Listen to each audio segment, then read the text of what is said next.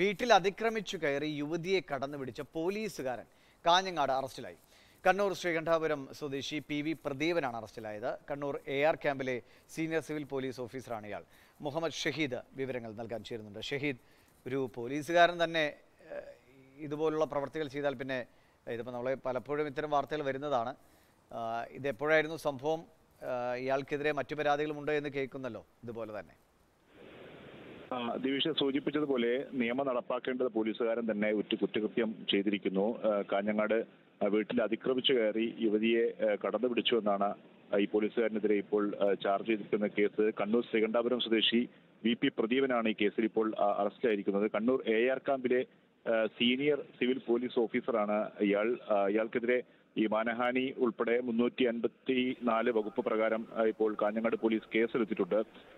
കണ്ണൂർ ജില്ലയിലും സമാനമായ പരാതി ഇയാൾക്കെതിരെ ഉണ്ട് എന്നാണ് നമുക്ക് മനസ്സിലാക്കാൻ സാധിക്കുന്നത്. രണ്ട് തവണ ഇതേപോലെ സമാനമായ രീതിയിൽ വീട്ടിൽ അതിക്രമിച്ച് കയറി സ്ത്രീകളോട് മോശമായി പെരുമാറിയ പരാതിയും കേസും ഉണ്ട് എന്ന് മനസ്സിലാക്കാൻ സാധിക്കുന്നു. തുടർച്ചയായി കേസ് ഇപ്പോൾ കഴിഞ്ഞ ദിവസമാണ് ഈ സംഭവം ഉണ്ടായത്. ഈ യുവതി ആ, പരാതിയുമായി പോലീസിനെ സമീപിക്കുകയായിരുന്നു. തുടർന്നാണ് പോലീസ് കേസെടുത്ത് ഇപ്പോൾ ഇയാളെ ഈ സിവിൽ പോലീസ് ഓഫീസറെ അറസ്റ്റ് ചെയ്തിരിക്കുന്നത്. ദിവിഷ്.